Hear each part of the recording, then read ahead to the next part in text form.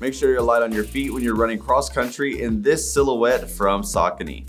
This racing shoe is a neutral support type that's perfect for track and field. It's got a durable, lightweight textile upper with some synthetic overlays with reinforcement in the heel, especially with that inside padding to make sure it's locked down.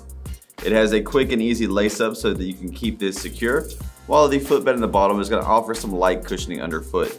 It's gonna keep it all very close to the foot to give you extra control, using some light EVA in the midsole that's more elevated in the heel, giving you some extra support with a responsive feel.